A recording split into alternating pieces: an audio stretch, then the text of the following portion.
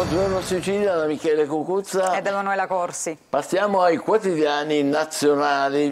Sì, partiamo dal Corriere della Sera di oggi e da questo nuovo scontro tra governo e Unione Europea. Eh, la Premier, curioso stallo sul caso ITA. Eh, poi Salvini, Le Pen a Pontida, ha invitato la Le Pen, gelo di Tajani, Bruxelles, non c'è stato notificato nulla a proposito di ITA, la sorpresa di Gentiloni e il timore per attacchi eh, controproducenti, questo è un po' quello che riguarda il nostro governo, anche degli attriti pare all'interno della maggioranza.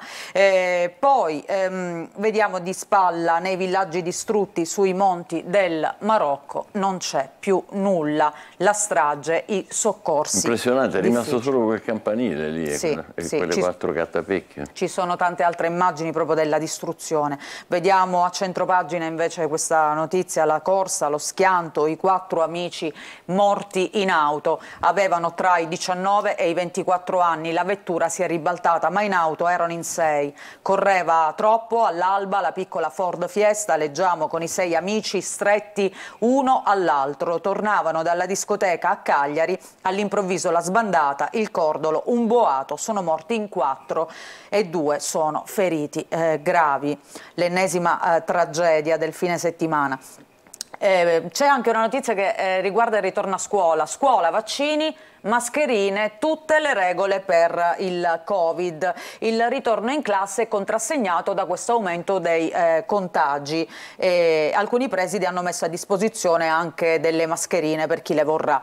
Invece andiamo all'interno del Corriere della Sera e vediamo in primo piano appunto cosa sta succedendo in Marocco tra i sopravvissuti dimenticati dai soccorsi. Non c'è più nulla. Guarda alcune immagini, Michele, di questa devastazione. Qui c'è questa foto che è molto drammatica, un bambino che viene tratto tratto in salvo fortunatamente da eh, un uomo, dalle macerie e poi qui la disperazione chiaramente delle donne eh, e i soccorritori in fondo appunto che cercano di trarre in salvo ancora eh, vittime. nei villaggi crollati sui monti attorno a Marrakesh ci sono oltre 2000 vittime. Quando arriva la scavatrice chiede eh, qualcuno e poi i leoni della nazionale, il Marocco che era arrivato terzo ai mondiali, lo shock la partita rinviata, adesso i giocatori hanno offerto il loro sangue, quindi doniamo il eh, sangue, ma in città ieri si è giocata eh, Gambia-Congo. Eh, Ancora a pagina 3, tre giorni di lutto, ma il Marocco si chiude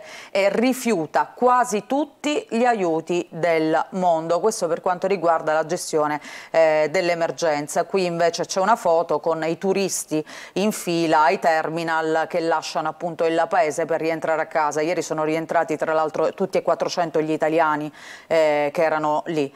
Eh, questa invece è la cartina, la mappa di, ehm, del sisma in rosso vediamo appunto l'epicentro dove eh, è avvenuto il, diciamo, il, il punto dove si è registrata la scossa di magnitudo punto 7. Eh, Cambiamo totalmente argomento e ti faccio vedere invece questa notizia, eh, l'ennesima bravata social che si è trasformata in una tragedia, guida in diretta Facebook e travolge un'altra auto, grave una bambina, succede ad Alatri, il frontale con una mamma che era con i suoi due figli, fortunatamente non ci sono morti, ma ci ricorda quello che era avvenuto eh, pochi, pochi mesi fa, appunto, stessa cosa con la morte di un bambino. La Repubblica di oggi, l'apertura invece è dedicata alla scuola la scuola dei precari perché oggi le elezioni eh, vanno, eh, partono le elezioni.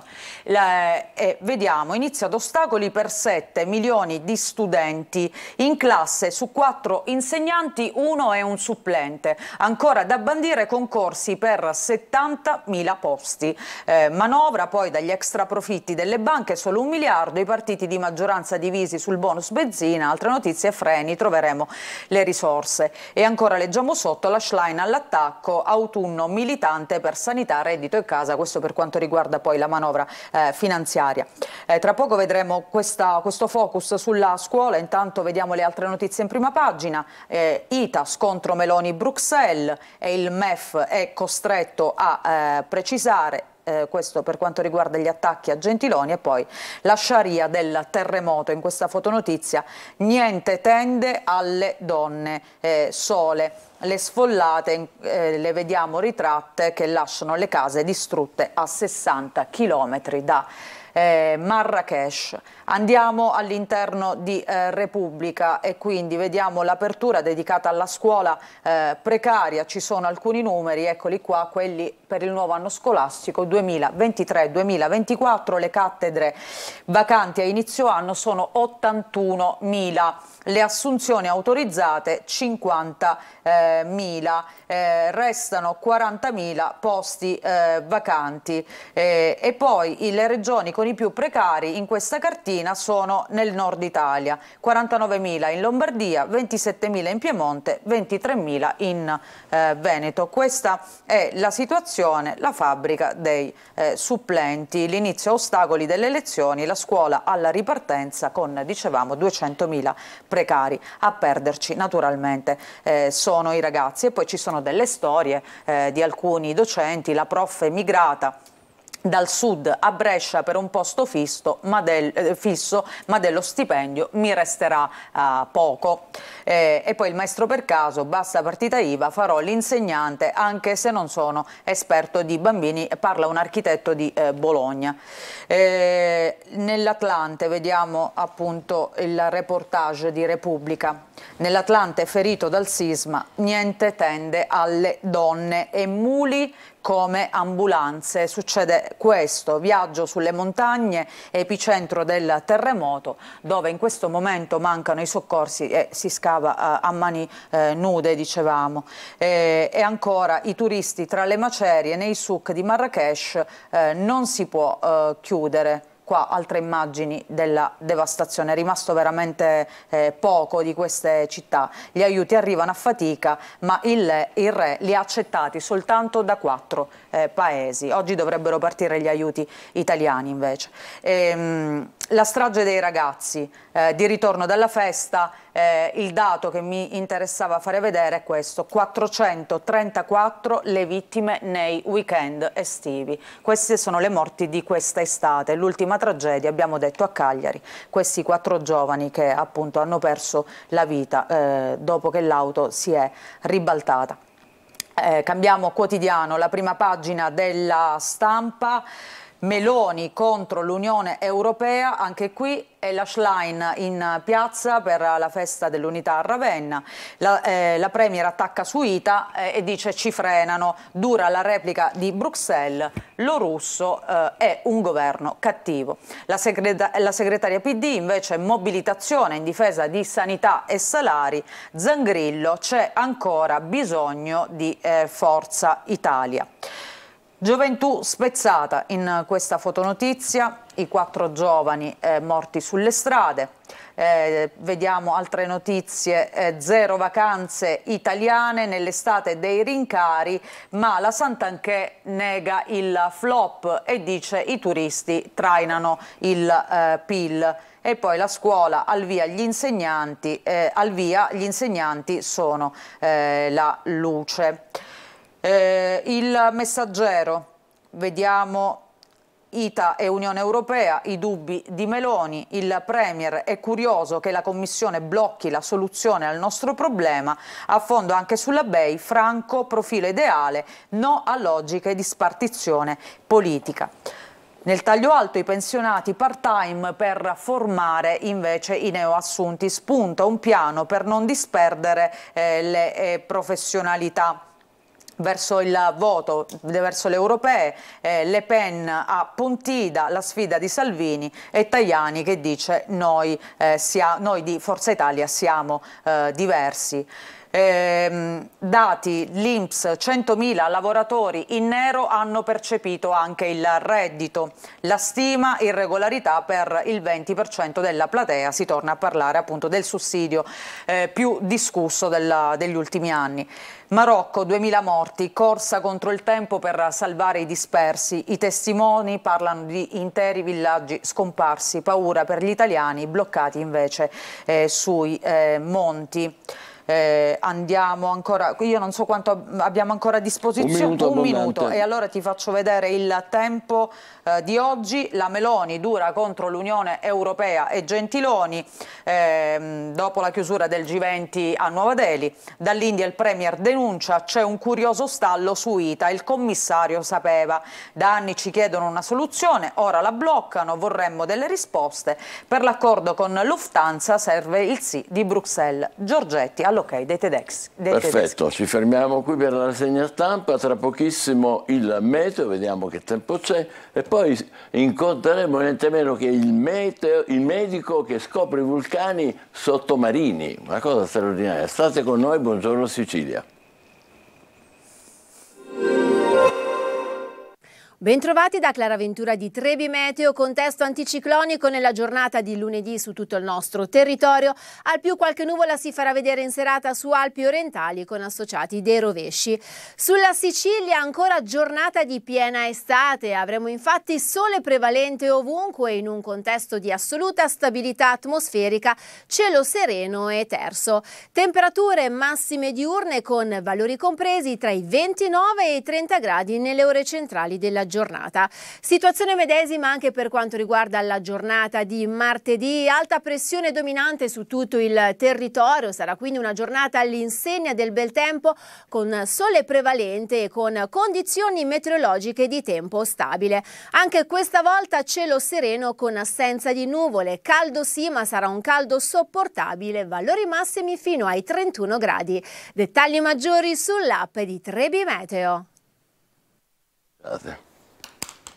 Allora, ecco noi in collegamento Mimmo Macaluso che è un sommozzatore, rianimatore, medico, ispettore dei beni culturali e quant'altro. Lei è tutto, dottore, eh? ma complimenti. Buongiorno. Eh? Quali sono allora. i suoi incarichi? Ci dica una decina di incarichi soltanto, i primi dieci. Beh, insomma, eh, tutto nasce da, da, una passione da ragazzo, soprattutto l'attrazione verso il mare è quello che contiene, sia in termini di beni culturali che in termini di beni archeologici e geologici. Geologici, appunto, parlando di vulcani, insomma, eh, da vent'anni praticamente abbiamo aperto la strada con le prime timide ricerche eh, che ho coordinato dal punto di vista subacqueo per l'Ordine dei Geologi e per l'Istituto Nazionale di Geofisica e Vulcanologia nello Stretto di Sicilia, dove nel 1831 era nata un'isola. Allora lei recentemente, dottore, ha scoperto non, una, non uno ma tre vulcani sommersi, ma dove sono? Allora, no, i vulcani sommersi eh, questi ultimi sono stati, eh, è stata una ricerca fatta all'Istituto Nazionale di, di eh, Oceanografia Sperimentale di Trieste, ma nel 2006 abbiamo trovato ben sette vulcani eh, che fino a quel momento erano sconosciuti, diciamo fra Pantelleria e le coste sud-occidentali della Sicilia, quindi Sciacca, Agrigento, in questo tratto di mare. Bene, poi cos'altro ha fatto? abbiamo cominciato a fare queste immersioni, eh, prima sui resti di Ferdinandea per prelevare delle rocce eh, che dovevano essere studiate dai petrografi di Palermo e poi abbiamo fatto dei rilievi so- sott'acqua, soprattutto dal punto di vista anche eh, documentarli fotograficamente e in video, perché c'erano poche immagini dei resti di questo straordinario vulcano che era stato tra l'altro oggetto di contenzioso fra diverse nazioni nel 1831, quasi a sfociare alla guerra in mezzo al mare, insomma, e poi l'isola si è disgregata, è scomparsa e tutto è finito lì. Però insomma abbiamo cominciato con queste ricerche sottomarine nel 2000, grosso modo nel 1998, ecco. Ma è vero che c'è un cratere che ha il suo nome? allora, la cosa simpatica è stata che eh, abbiamo trovato una formula bellissima che ha coinvolto voi, i media. Voi avete avuto un ruolo straordinario in questa ricerca. Eh, il fatto è che si è parlato molto sui giornali, sulle televisioni di questi vulcani sottomarini, ha portato una società di produzione televisiva a realizzare un bellissimo documentario premiato, molto premiato, tra l'altro una delle prime produzioni italiane vendute a National Geographic. E durante questa ricerca um, vulcanologica abbiamo trovato un piccolo cratere isolato nel cosiddetto banco terribile che raggiungeva i 37 metri dalla superficie. E ho fatto un'immersione, sono stato il primo ad effettuare un'immersione in questo cratere fino a quel momento sconosciuto e l'ufficiale di rotta l'ho battezzato con la sigla del mio cognome e l'anno della scoperta. Adesso si chiama Mac 06. Benissimo, ma è vero, è vero che ha scoperto anche relitti della seconda guerra mondiale?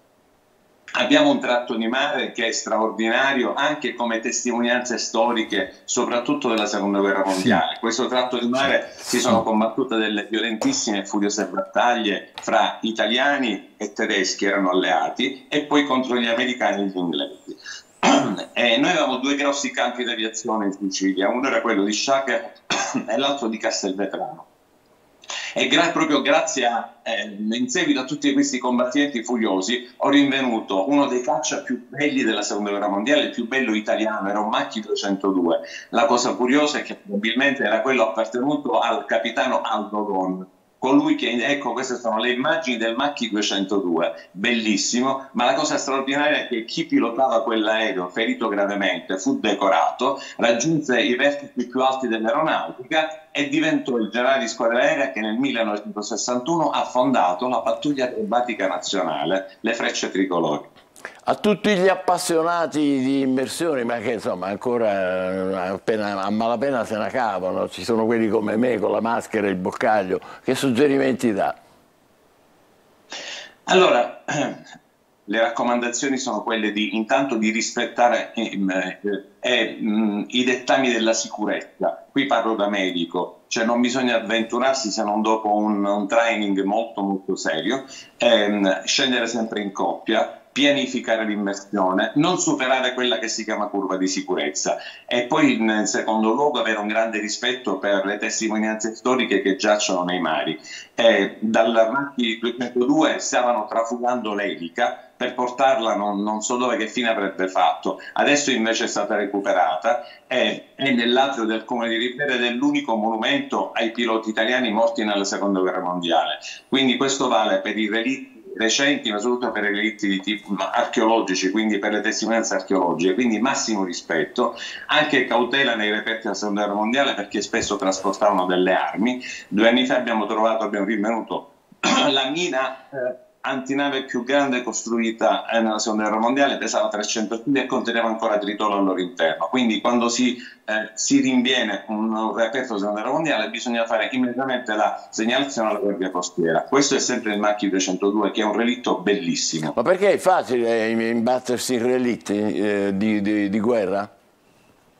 Come? È facile, dico, che imbattersi in relitti di guerra addirittura. È molto, è molto facile perché, guardi, in un tratto di mare di soltanto 500, meno di, di, di un miglio, ho rinvenuto uno Junker 88, i resti di un B24 e il Macchi 202. Adesso da poco i geologi stavano effettuando una ricerca in questo tratto di mare di tipo geologico e hanno rinvenuto un enorme relitto aeronautico che sarà oggetto di studi.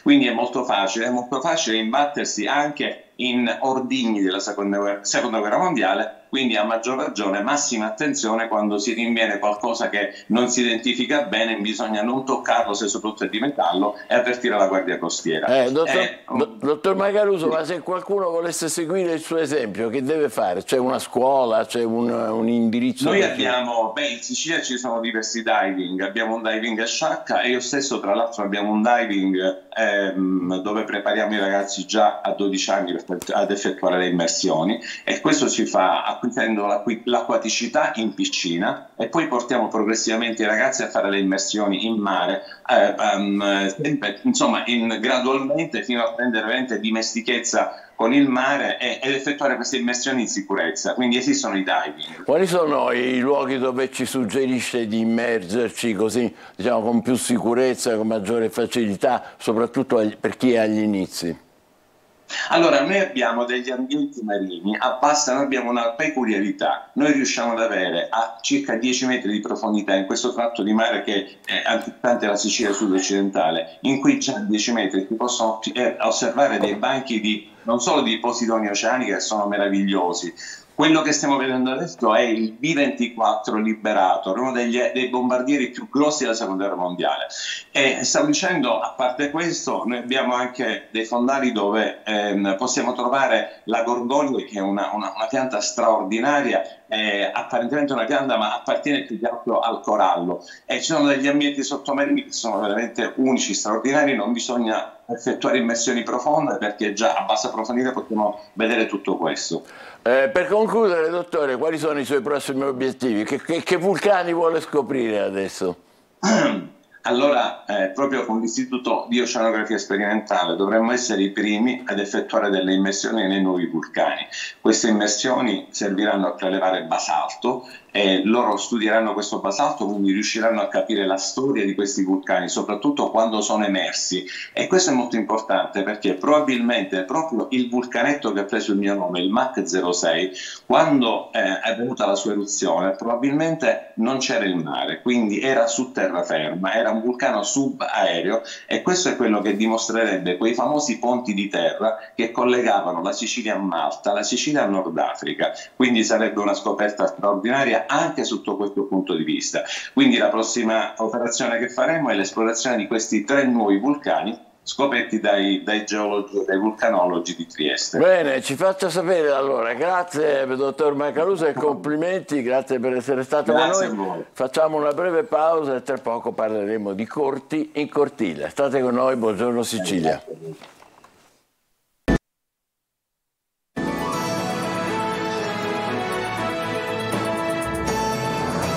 Buongiorno Sicilia, abbiamo un ospite, Davide Catalano, direttore artistico di Corti in Cortile Cinema in Breve, che è una manifestazione che a Catania è molto conosciuta perché ritorna. Che edizione siamo? Siamo alla quindicesima edizione. Caspiterina, complimenti. Comincia venerdì, vero? Sì, venerdì 15 iniziamo fino a domenica, fino a domenica. al Palazzo della Cultura di Catania. Chi saranno i protagonisti di questo Festival internazionale del corto Cinema in Breve? Ma in realtà i protagonisti sono diversi, sia i registi che vengono a presentare le, le proprie opere in concorso, saranno protagonisti i produttori, i distributori che avranno la possibilità di confrontarsi con vari consulenti e con le film commission. E anche, devo dire, i protagonisti sarà anche il pubblico, perché noi ogni anno coinvolgiamo il pubblico del festival, che è fondamentale e ogni anno abbiamo, insomma, una massima partecipazione, sostanzialmente daremo una cartolina, avranno la possibilità di votare il proprio cortometraggio. Ah, quindi la giuria è il pubblico? Sì, abbiamo una, una, giuria chiaramente giuria. di qualità e anche una giuria cosiddetta popolare. Sì. Ma ci sono partecipanti di tutto il mondo, c'è anche l'Ucraina, vero? Esattamente, abbiamo un'opera proveniente dall'Ucraina, dagli USA, eh, dal Messico, dal Brasile, insomma è un festival internazionale, sono 22 le opere in concorso finaliste liste su 215 pervenute tramite distributori, tramite le piattaforme. E, um, esattamente questo. E la, abbiamo detto giuria, diciamo, chiamiamola tra virgolette popolare, cioè noi spettatori che esatto. veniamo lì e possiamo anche votare ma poi ci sono gli esperti, quelli sono importanti, no? Sì, gli esperti quest'anno sono, io definisco, mirati, perché ho voluto scegliere una giuria fatta da produttori, abbiamo la Warside, la Notorious, quindi anche distribuzione, appunto perché il regista che viene a Catania presenta la propria opera già, eh, che viene giudicata da tecnici eh, ehm, come insomma, dei professionisti, come eh, insomma, produttori o anche ehm, dei giornalisti. Noi abbiamo in giuria un giornalista, abbiamo il direttore dell'Accademia delle Belle Arti. E, ehm, sì, è importante. La giuria di qualità è una... Um, considerate che è bello questo, la, mia, la, la, giuria segue tutti i cortometraggi, nel momento in cui li devono decidere c'è la guerra, perché ognuno deve dire qualcosa. Mi ricordo eh, l'anno scorso la giuria è durata, la riunione è durata qualche quattro ore, li abbiamo dovuti rivedere. Beh, una guerra in questo caso diciamo pacifica, non... Guerra pacifica, pacifica. si intende. Volevo dire una cosa, una domanda un po' da non addetto ai lavori. Che tipo di di realtà viene fuori da questi corsi, se si può trovare un filo conduttore, ammesso che si possa. Allora, È più fantasia, più realtà, più attualità, più passato? Allora, le tematiche sono diverse, però il regista, ci siamo accorti che il regista del cortometraggio rappresenta quello che, insomma, rappresenta molto, vuole rappresentare la, la realtà in cui viviamo in quel periodo storico. E sono di molte le opere che parlano di attualità. E, eh, sì, eh, il corto fondamentalmente che arriva eh, al festival tendenzialmente toccando diverse tematiche ma vuole rappresentare il contesto sociale in cui stiamo vivendo Beh, Questo è interessante. E, e, chi sono gli autori? Sono, ah, è gente che fa anche cinema poi tradizionale oppure è proprio gente che si specializza nei corti, giovani o gente di mestiere? Allora, devo dire che il, chi fa il cortometraggio sogna prima o poi di fare il lungometraggio. Ah, ecco. Si dice che il cortometraggio è la palestra, la palestra. per realizzare un lungometraggio. E, ehm, Alcuni sono dei professionisti, hanno studiato, alcuni sono aiuti registe che poi eh, hanno il passaggio da, dal regista per appunto documentario, prevalentemente sono dei professionisti.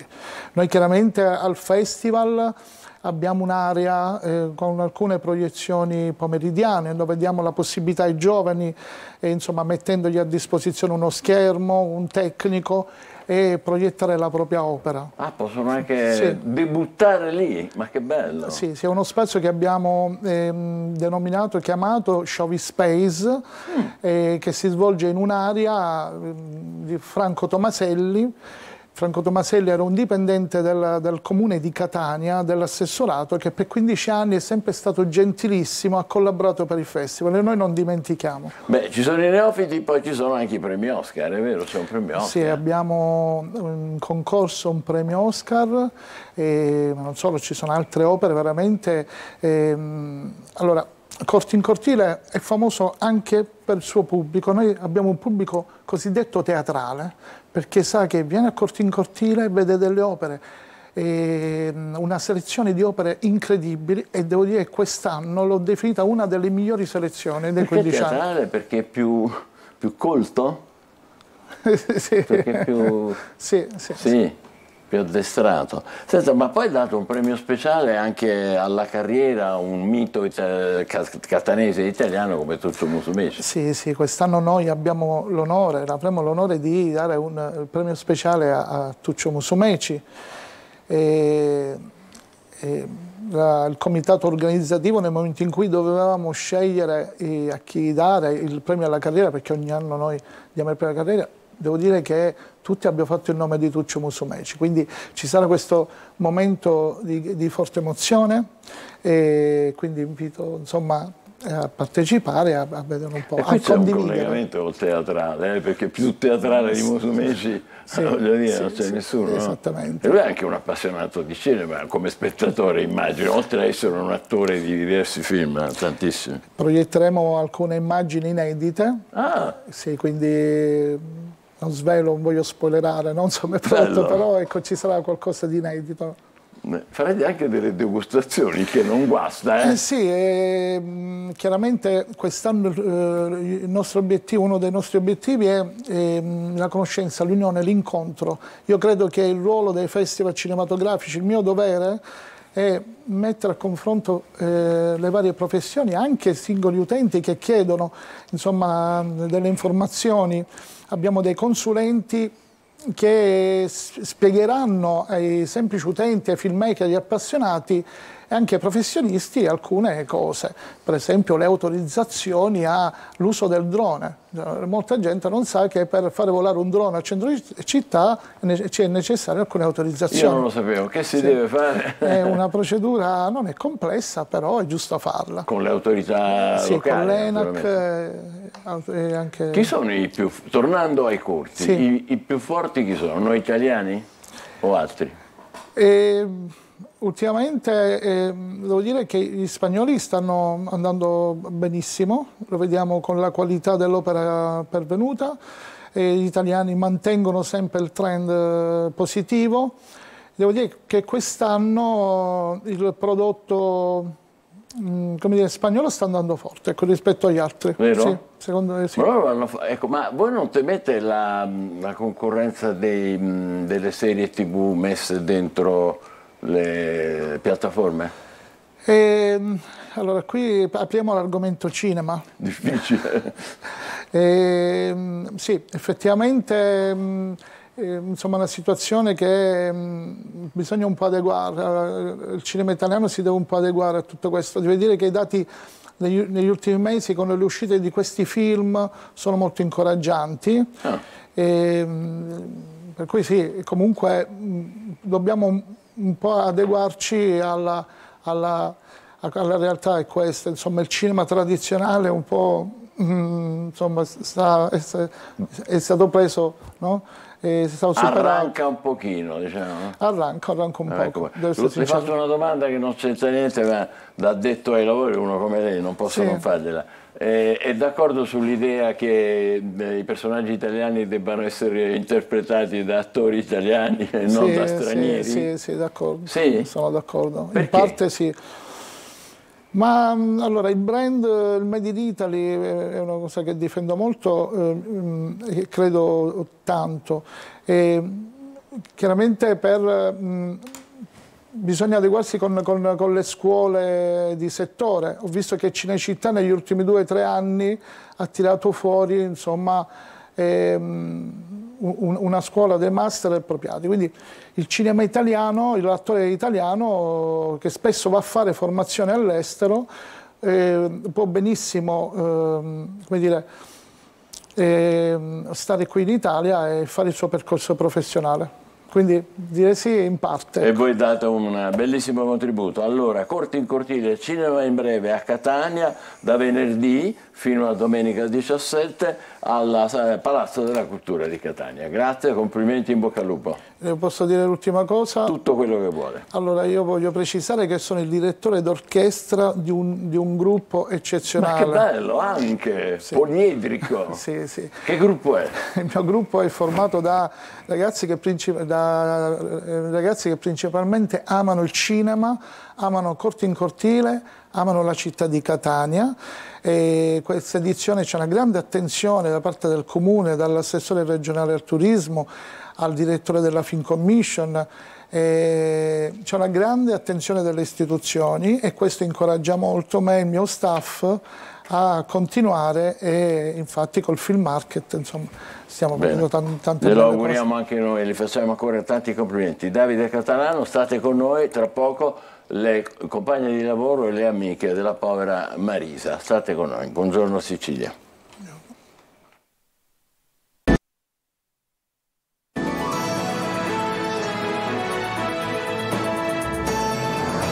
Ricordiamo Marisa Leo insieme con due donne che si occupano anche loro di vino, come Marisa Leo che era manager di Colomba Bianca, c'è Valeria Lopis che è una giornalista e c'è Maria Grazia Barbagallo, sommelier dell'Associazione Italiana Sommelier. Benvenute, eh, so che conoscevate, eravate amiche eh, di Marisa Leo. La povera Marisa eh, oggi sarà sottoposto il suo corpo ad autopsia, gli investigatori ritengono che il femminicidio di cui è stata vittima fosse preparato da tempo dagli investigatori, eh, da, dall'assassino perché addirittura aveva assoldato una, un, agente, un, agente, privato, un poliziotto privato, poi aveva preparato delle armi, c'erano due macchine, insomma era una cosa eh, ben organizzata. Ecco, eh, quando, quando è stata l'ultima volta che avete sentito Marisa? Marisa io personalmente l'ho sentita di recente, fino a luglio-agosto abbiamo organizzato delle iniziative come nostra consuetudine fare e lei era sempre proattiva, collaborativa. Eh, ricordo una manifestazione a Menfi dove lei ha voluto mandarmi il vino della sua azienda perché sapeva che c'è una referenza che mi piace particolarmente.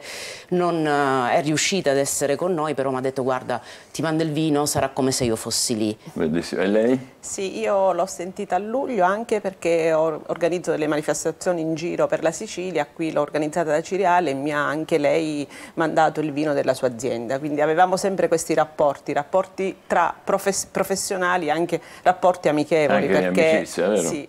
Ecco, e, eh, lei aveva un ruolo importante nella sua azienda e vi aveva mai parlato del, dalle sue vicende private, anche accennandone del suo controverso rapporto con questa persona? Sicuramente sapevamo che non c'era una situazione serena, però nulla lasciava presagire qualcosa di così grave. Marisa è stata sempre una persona molto composta, riservata, mai timida, però sicuramente sapeva distinguere il privato dal professionale. Nel professionale dava sempre il massimo. Il sorriso che abbiamo visto nelle foto era una costante, una costante che c'era sempre, ma era un sorriso autentico, eh, perché lei in quel momento faceva lo switch e si dedicava 100% al lavoro che amava, come lo amiamo tutte noi che siamo legate da questa passione. Era sempre... anche con lei? Sì, assolutamente, era una persona molto attiva come diceva Solare, e, um, organizzava sempre delle feste tra amiche. Noi abbiamo una chat insieme, Donne del Vino, perché siamo socie delle Donne del Vino nella Sicilia, siamo circa 100 in Sicilia Ehm, ma ogni giorno c'era un bel messaggio. E Marisa quindi... partecipava? Assolutamente sì, sì, assolutamente, era sempre attiva. E che tipo di messaggio? Scusi la curiosità. Ma noi organizzavamo oh, manifestazioni anche per beneficenza, anche per le donne vittime di violenza, organizzavamo tante cose in giro, quindi avevamo una chat molto attiva, abbiamo una chat molto attiva perché noi crediamo su questo progetto si chiama Calici per la vita e sì. ne vuoi parlare tu Valeria? Sì, era... Mm, posso aggiungere eh. che il, il, giorno stesso che poi insomma l'indomani mattina purtroppo siamo stati svegliati con la notizia che non avremmo mai voluto sentire quel giorno la nostra presidente regionale Roberta Urso mi telefonò per parlare appunto di progetti di questo tipo e mi disse guarda adesso io chiudo perché chiamo Marisa che sta organizzando a Mazzara eh, la prossima tappa che sarà ad ottobre Mamma eh, mia perché abbiamo sì. questo progetto itinerante nelle città, c'è stato a Catania, ne sono venuta a parlare qua, c'è stato eh, a Borgo Parrini, a Palermo, è una iniziativa che noi portiamo avanti perché crediamo in Donne del Vino, oltre a voler supportare l'equità del lavoro che fanno le donne, quindi raccontare quella piega femminile del lavoro, crediamo che ci sono tante donne che hanno bisogno di supporto a tutti i livelli, supporto contro la violenza, ma supporto anche per rafforzare ciò che sono, per cui creiamo queste iniziative vive in presenza in vari locali dove parliamo di vino ma parliamo anche di valore professionale. E Marisa e, era attiva in questo? Attivissima. Sì, anche perché noi, le cantine sono coinvolte, noi donne del vino siamo professioniste del vino, è un lavoro una volta prettamente maschile, no? una donna che si approccia al vino è molto difficile, così come un sommelier, eh, ma anche le produttrici, le vignaiole, invece no, c'è un mondo assolutamente femminile, al femminile, quindi noi spingiamo da questo punto di vista e cerchiamo anche di aiutare le donne, anche eh, cercando lavoro, ecco, è una, la nostra un'attività no profit. piano professionale, sì. però Marisa era anche impegnata, avete già accennato in gran parte, eh, per la difesa diciamo, delle donne contro la violenza, contro la discriminazione, per la parità di genere, sì, vero? Sì, sì, stava proprio organizzando la prossima tappa nel suo territorio e, e cosa, sempre... vi diceva? cosa vi diceva su questo? dal punto di vista professionale era una risorsa sempre di supporto, eh, buone notizie, era sempre positiva, Esattamente come la vediamo nelle foto, sì. quindi è incredibile che sia toccato a lei. E invece sul sull'impegno per, per, le donne com'era? Eh, mo, molto, molto attiva e infatti quella mattina ci siamo svegliate come se fossimo state colpite tutte noi, tutte, tutte 84, oh, siamo circa 84 della Sicilia, ma credo a livello nazionale, perché l'Associazione Donne del Vino tutte ci hanno, ci hanno, accolto, hanno allargato le braccia perché ci vogliono aiutare, ma non solo in Sicilia, sappiamo benissimo che dappertutto c'è questa realtà, ma noi siamo molto ferite. E siamo intorno a Marisa, alla sua famiglia, alla sua figlia.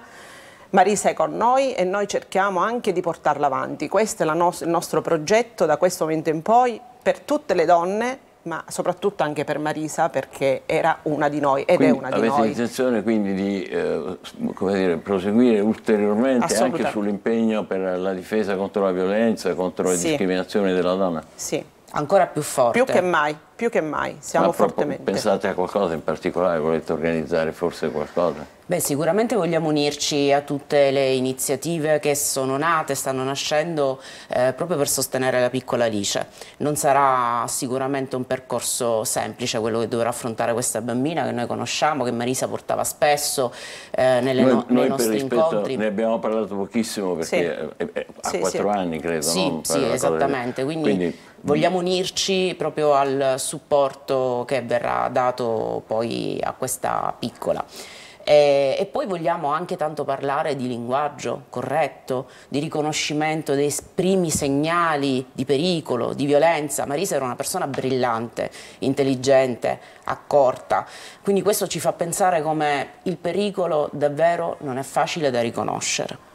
Ma è davvero così? Io mm, qui vorrei fare, come dire, di fronte a una tragedia del gossip, ma ehm, perché ha ritirato la, la, la, la denuncia, la, querela per stalking per amore della figlia e quindi non riconoscere i segnali che tante volte anche le forze di polizia suggeriscono alle donne, dice fate attenzione a qualunque cosa, cioè, come può succedere? Ma penso fondamentalmente che Marisa è una persona buona, sincera, credeva, eh, credeva mh, si è illusa che magari il suo compagno potesse cambiare.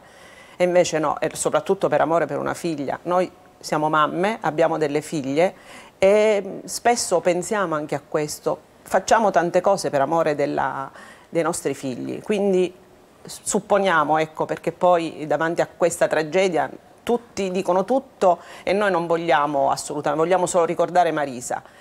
Lei era una persona, così come la vediamo, molto solare, magari chiusa, molte cose se li teneva perché il dolore sicuramente dentro ce l'aveva come tutte le donne ferite, non è l'unica.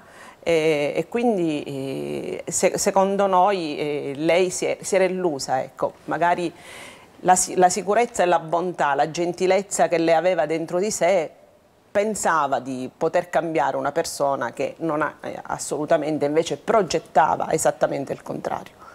Vi occuperete della bambina? Chiaramente se ne occuperanno le, le, istituzioni nelle modalità e nelle formule insomma, che, che, sono necessarie. Noi sicuramente ci saremo in tutti i modi possibili con la nostra vicinanza alla famiglia. Eh, la c'è nostra, il fratello soprattutto. C'è il pare. fratello, la nostra è una rete molto presente, molto attiva. Eh, tante di noi erano molto amiche anche perché erano nello stesso territorio. Noi ora siamo nella Sicilia orientale, ma ehm, tutte le ragazze della Sicilia occidentale, della, della, sua comunità, si sono strette intorno anche fisicamente sì. a questa famiglia e siamo tutte colpite da questa tragedia perché ci sentiamo tutte Marisa. Per chiudere vorrei chiedervi che cosa si può fare per fermare questa, questa, queste ecatombe che continuano, si parla, si parla, il braccialetto rosso, la difesa, la cosa, e poi però siamo di nuovo sempre da capo. Io personalmente sento una grande responsabilità perché sono anche un insegnante di scuola superiore, quindi credo che bisogna agire moltissimo con i ragazzi, eh, portare delle informazioni che partono proprio dal, dalle parole, dal linguaggio, dalla modalità in cui eh, ci interfacciamo eh, e da là cominciare a fare un lavoro di consapevolezza. E poi credo che occorra un altro eh, passaggio a livello proprio di normativa. Eh, penso che occorrano norme più stringenti, molto più forti. Cosa ci vorrebbe? Beh, sicuramente eh, le istituzioni devono aiutare, devono assolutamente aiutare, cercare anche al primo avviso, al primo ecco, cercare di stringere ancora e sentire eh, la vicinanza delle istituzioni. Spesso le donne denunciano, però poi ritirano perché non, non, non hanno la certezza di essere protette sembrano sconfitte, quindi le istituzioni secondo me devono fare anche la loro parte. Sono più d'uno a ritirare la denuncia sì. come aveva fatto sì. Marisa? La ritirano per paura e sono, forse le istituzioni non sono così convincenti, non hanno le cautele giuste per poter proteggere eh, queste donne indifese, sole e comunque sfiduciate, perché poi è, è proprio la paura che li fa, eh, che emerge, emerge questa paura, paura perché magari Marisa pensava alla bambina, perché è questo il problema, paura anche della società, perché spesso la società eh, eh, non è che aiuta assolutamente queste donne, anzi li cataloga e non è assolutamente vero. La violenza purtroppo dentro casa è tanta, è tantissima. Ci fermiamo qui con un ultimo pensiero, ricordo di Marisa, eh, naturalmente vi ringraziamo per la vostra testimonianza così bella, così partecipata e per le tante cose importanti che avete detto. Grazie. Grazie. Grazie. Davvero. Adesso facciamo una pausa, ci occupiamo di tutt'altro. State con noi, buongiorno Sicilia. Mi sono, andato, sono vestito così perché mi sono andato a scrivere a scuola di sudamericano. Eh, quello, scuola di? il ballo quello. Ma che cos'è? Cioè, il ballo, qui ci ballano tessetissimi, lo voglio fare pure io. Ma che cosa? E poi sta testa, sai perché si muove così? No. Perché magari lei è andata a ballare, suo marito era a lavorare, lei si è andata a ballare con un altro, e mio marito, cioè, Benjamin, ne consumato, capito?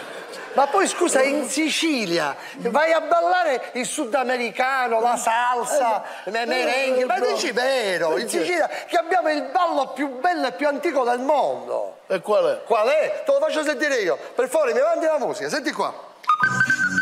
Ma che antico, mamma mia! Ancora! La tarantella! È antico questo ballo! Ma che antico! Il ballo più moderno, più attuale del mondo. Vabbè. Allora, dimmi una cosa. Tu sai perché si chiama tarantella? Oh, perché l'hanno battezzata così? Sì, la batte... ah, perché è piccini, dai. Si chiama tarantella perché forse ha origine dalla tarantola. Ah, ah. Prende origine dalla tarantola. Esatto. Che cos'è la tarantola? Quella che ha dato origine alla tarantella. La tarantola è un, un insetto, la tarantola è un, un animale microscopico mm. che vive nel sottobosco. Ah, perché nel sottobosco? Perché sopra casa non c'è. Perché vive nel sottobosco perché è talmente piccola che questo animale ha paura di essere mangiato. Ah, la, la tarantola esce fuori la notte per andare a cercare qualcosa da mangiare. Mm e lei cerca, cerca. La tarantola, tu lo sai com'è la tarantola? Com'è fatta la tarantola? Com'è fatta la tarantola? La tarantola è fatta, guarda, è così. Lei si muove con, con i suoi tentacoli, lei ha gli aculei e i tentacoli. E, e lei... com'è l'aculeo? Eh? La, ora, l'aculeo te lo faccio vedere com'è. Lei si muove e siccome lei non ci vede, non, non ci sente, la completa proprio. Sì, però lei capta. Ah. Lei capta. Ah, ho capito. Ho capito. No, lei capta. Eh, io ho capito. Le onde, le onde, le onde eh, elettromagnetiche. E lei cosa fa? Cammina e cerca una preda. A un certo punto si gira e scorge che c'è una preda. Si blocca e piano piano si avvicina. La preda capisce che potrebbe essere preda e si allontana e la tarantola la segue. A un certo punto però la preda si ferma perché è finito il palcoscenico una fornire. Allora, a quel punto la tarantola che cosa fa? Si ferma, è vicina alla sua preda e alza il suo aculeo. Ah, se così è tarantolo. No, questa è la tarantola. Questo non è l'aculeo, è... Mi... La tarantola è un'ermafrodita, cioè dentro di sé c'ha tutti e due i sessi. Queste fortune sono. Come fui tu? E poi quando tu ti ritiri a casa gioia e no, mal di te, stavamo fa tutto così. No. La tarantola! Allora cosa fa? Alza il suo acuto perché lei non è che può mordere, no, no, no. lei non è che può mangiare, lei punge. punge. Come fa la tarantola? Alza il suo aculeo e con un movimento rapido, fulmineo, punge la sua vittima così. Pa! Ah! Ma ha preso, Toti! Allora, signori, ho sentito che mi ha preso! Non ve ne potete rendere conto. Che mi succede? Perché l'occhio umano, l'occhio umano ma... non vede, non vede questa cosa qua. Cosa fa? Ve lo faccio rivedere a rallenti. Guardate cosa succede.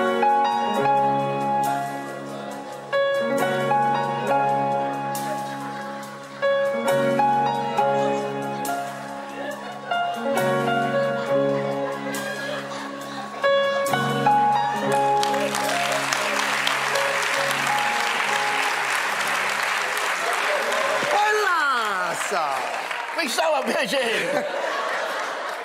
La tarantola punge e in quel momento inietta un veleno che per i piccoli esseri è mortale, per l'uomo non è mortale, però questo veleno, appena comincia a entrare in circolo nei vasi sanguigni dell'essere umano, crea prima delle contrazioni. Poi queste contrazioni provano una forma di eccitamento e, e la persona che è stata appunto comincia a fare così. Allora si è pensato, vuoi vedere? Quello è stato appunto dalla tarantola e, e balla la tarantella. E, e- e questa eccitazione comincia a crescere. Ah,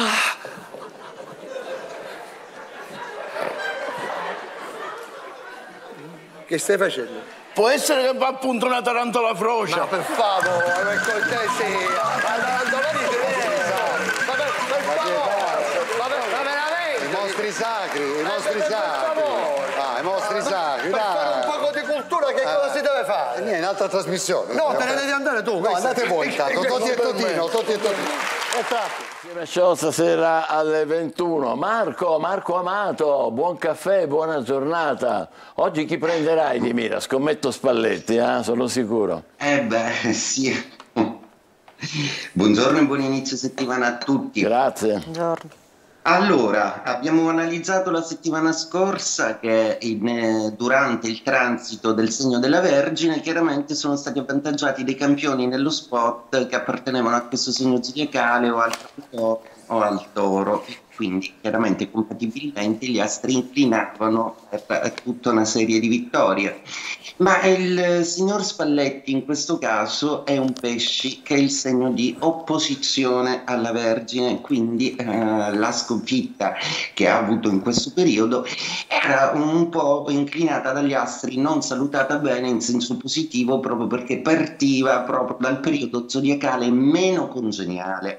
Ciò non di meno questo non significa che andrà male ehm, progressivamente, anzi i pesci avranno una ripresa decisamente molto interessante. Ricordiamo che il signor Spalletti ha preso eh, come incarico l'essere allenatore della nostra nazionale, quindi eh, gli facciamo comunque i migliori auguri e magari prima consultare un astrologo per capire quando è il caso di iniziare o meno una, una kermesse sportiva così impegnativa. Ecco, semplicemente non era il periodo congeniale. Stesso dicasi anche per il signor Mancini, perché eh, l'allenatore uscente invece è Sagittario, che è il segno di quadratura alla Vergine, quindi è blocco. Ehm, su, su entrambi, su due tavoli, diciamo che questi nuovi cimenti di questi due grandi allenatori non partivano proprio dalle posizioni più eh, idonee, ideali per il cielo, ma da novembre in poi sia per uno che per l'altro le cose andranno decisamente meglio, quindi auguri. Oggi Luna in Leone, splendida perché si congiunge a Venere, quindi le signore dello zodiaco flertano un po'. Amore per tutti, soprattutto per i segni di fuoco, Ariete, Leone, Sagittario e anche per quelli d'aria, Gemelli, Bilancia, Acquario, che giocano un po' tutti con leggerezza con i sentimenti e l'amore. I Terra invece subiscono un po' un freno, soprattutto il Toro ma eh, la Vergine prende un po' emotivamente tutta una serie di analisi proprie per potersi meglio relazionare, il Capricorno invece è sempre super innamorato. Eh, gli acqua, um, scorpione, cancro e pesci eh, subiscono un po' questa luna che sembra oggi un po' parlare poco di sentimento, non convince la leggerezza delle due signore nello zodiaco cui eh, i segni d'acqua troveranno più opportuno approfondire dentro se stessi le tematiche affettive. Oggi, 11 settembre, colgo l'occasione per fare l'augurio al nostro Edoardo Sergi di Antenna Sicilia, perché è colui che decido spessissimo i contenuti del mio intervento.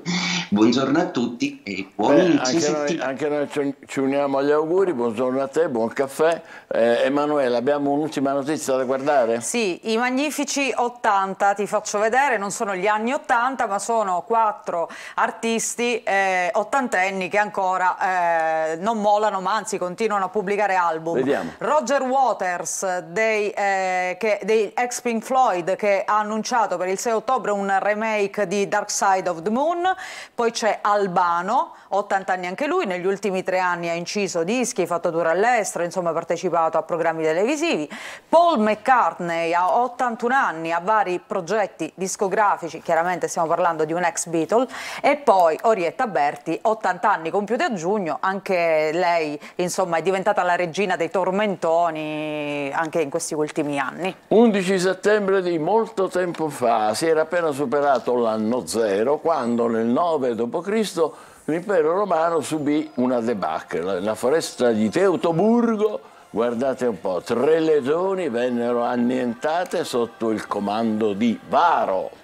Altro evento ricorrente nei libri di storia, l'11 settembre, la discesa di Carlo VIII del 1494. Varcate le Alpi, il re giunge ad Asti dando inizio alle guerre d'Italia. E sempre l'11 settembre nell'Empire Theatre di Johannesburg, era il 1906, si tenne un'assemblea affollatissima della comunità indiana. Gandhi propose per la prima volta la Satyagraha, una forma di di resistenza non violenta che poi caratterizzerà la sua vita. Vent'anni dopo, nel 1926, l'anarchico Gino Lucetti tentò di uccidere Mussolini. L'11 settembre, lungo il solito percorso del capo del governo, Lucetti lanciò una bomba a mano, l'ordigno invece di entrare nell'auto, questa qua che è disegnata, eh, finì sugli ignari passanti, poverini. L'11 settembre del 1941 sono cominciati i lavori per la costruzione del Pentagono. Vedete proprio l'edificio a forma di Pentagono che è la, la, il Ministero della Difesa americano la progettazione segretissima teneva conto grandi, delle, dei misteri e dei segreti del più grande apparato militare del mondo. L'11 settembre del 1961 il WWF fu fondato in Svizzera con la missione di conservare la biodiversità, promuovere la sostenibilità e ridurre inquinamento e sprechi. E poi, eh, sempre l'11 settembre del 1973, sono certo che il mio sacrificio non sarà vano, sono le ultime parole di Salvador Allende, eh, il, che morì in un colpo di Stato in Cile, eh, colpo di Stato militare guidato dal generale Augusto eh, Pinochet, depose il governo del socialista appunto Allende che eh, secondo la, gli storici si suicidò durante l'assedio al palazzo presidenziale. Nel 97, giorno del 700 settantesimo anniversario della battaglia di Stirling Bridge, la Scozia votò per ristabilire il proprio Parlamento dopo 290 anni di unione con l'Inghilterra e questa decisione fu definita, fu influenzata, influenzata dal film Braveheart del 95 diretto e interpretato come sapete da Mel Gibson che contribu ha contribuito al risveglio della coscienza nazionale sco scozzese che ogni tanto qua e là riaffiora e vedremo poi se prima o poi si renderanno indipendenti. Poi... Dopo l'11 settembre 2001 il mondo è cambiato, sono passati 22 anni dall'attentato delle torri gemelle negli Stati Uniti compiuti da un uh, gruppo di terroristi di Al-Qaeda. 2.977 le vittime, oltre 6.000 i feriti. Negli anni successivi si sono registrati ulteriori decessi a causa appunto delle conseguenze di questi attacchi. Ecco, vedete qui i due aerei che sono piombati sulle torri gemelle e poi li hanno fatti crollare. Ma per lasciarci con un po' di leggerezza abbiamo pensato di fare gli auguri a un grande musicista che, eccolo qua, eh, lo vedete, Moby lui, eh? ha rivoluzionato la musica elettronica, lui era un DJ a New York e eh, faceva questo all'inizio, e ha fatto delle cose straordinarie. È nato a New York l'11 settembre, gli facciamo gli auguri, è 65, un po' che non lo sentiamo, ci lasciamo con l'energia uno dei suoi più grandi successi, Perfect Life. Noi ci vediamo domani con Buongiorno Sicilia, buona Buongiorno. giornata.